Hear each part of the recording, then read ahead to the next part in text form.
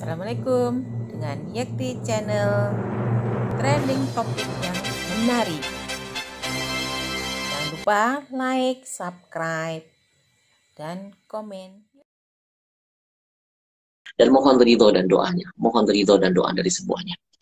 Hari ini sebenarnya saya masih belum fit tapi karena kecintaan kepada Syahli Jabir uh, saya paksakan untuk live yang perdana setelah berapa bulan tidak pernah live uh, saya sempat diuji oleh Allah SWT terkena penyakit dari tanggal 22 Agustus saya berjuang dengan panas yang sangat tinggi menggigil mual tidak punya tenaga lalu saya dibawa ke rumah sakit uh, diperiksa, saya khawatir itu tipes.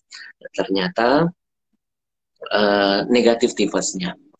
Lalu diberikan obat dari rumah sakit. Kita makan obatnya dua hari, tapi ternyata panasnya makin menggila, menggigilnya makin menjadi. Tidak ada cairan makanan yang masuk. Itu yang membuat saya terus drop-drop dan lemas. Dan akhirnya lalu saya dilarikan ke rumah sakit, di CT scan, kemudian di uh, MRI, lalu nampak ada torak di kedua paru-paru saya. Lalu disimpulkan probably COVID. Saya dicurigai terkena COVID. Besoknya saya disarankan untuk swab teman-teman sekalian. Lalu kita ikuti prosedur itu, saya swab, dan kita menunggu tiga hari setelahnya. Ternyata baru satu hari, saya sudah tidak tahan dengan panas yang terus tinggi, menggigil, badan yang lemas, lalu saya dilarikan istri saya ke rumah sakit untuk dirawat di infus, paling tidak ada cairan yang masuk. Uh, dan itu dirawat sudah standar COVID. Uh, sambil menunggu hasil swab. Uh, tiga ternyata hasilnya baru keluar empat hari. Dan hasilnya saya positif COVID. Lalu setelah itu saya dilarikan ke rumah sakit holistik yang ada di Purwakarta. Saya ditangani, saya diobati dengan herbal, tidak ada pakai bahan-bahan kimia, dengan tumbuhan, tanaman, dengan sayur, maaf, dengan buah-buahan, dengan sayur-sayuran, dengan obat-obatan yang tradisional. Luar biasa, saya dirawat di sana selama beberapa minggu dan alhamdulillah, alhamdulillah ala kulli hal, alhamdulillah bi ni'mati tatimmus salihat. Yang tadinya ketika saya masuk, saya sudah pada posisi yang sangat kritis tidak bisa berbicara seperti ini. Ngomong sepatah dua kata, sesak langsung di dada, napas saya itu seperti pendek. Sudah mengap-mengap seperti ikan yang keluar dari habitat air. Uh, sampai pada saya sudah menuliskan wasiat kepada istri, uh, menitipkan wasiat kepada teman-teman, menitipkan wasiat kepada uh, keluarga, dan lain sebagainya.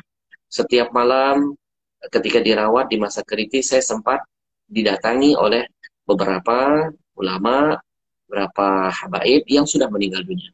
Seperti ada Habib Munzir hadir dalam mimpi, kemudian ada Uji, uh, Ustaz Arifin Ilham, ada Habib Rahman Hirin.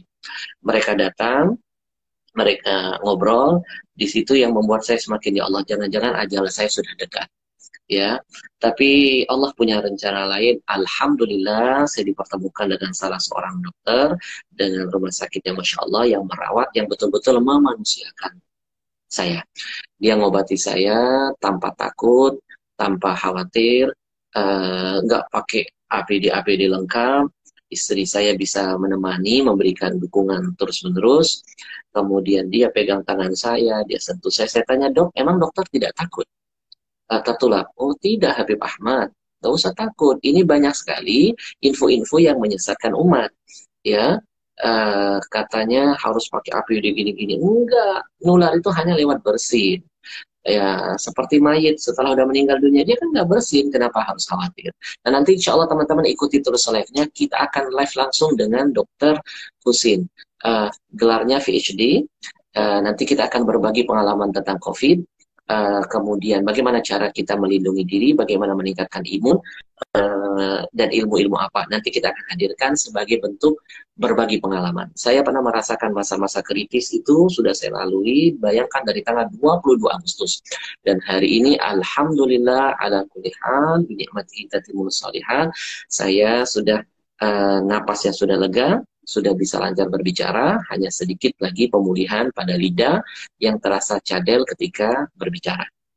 Mungkin karena faktor obat-obatan yang sebelumnya yang terlalu tinggi. Sekali lagi teman-teman mohon doanya, mohon uh, keikhlasannya untuk terus mendoakan saya dan mendoakan guru-guru kita yang lain. Uh, insya Allah mudah-mudahan Allah jaga kita dari segala macam kejahatan makhluk-makhluknya, termasuk COVID. Terima kasih banyak teman-teman sekalian. Nanti insya Allah saya akan hadirkan dokter itu, kita berbagi ilmu. Ya, bertukar pengalaman. Mudah-mudahan memberikan manfaat buat antum semuanya. Sekali lagi, salam hormat untuk semua keluarganya. Assalamualaikum warahmatullahi wabarakatuh.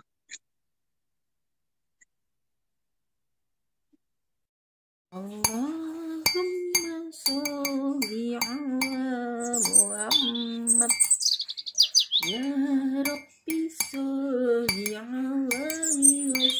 Berlin. This will be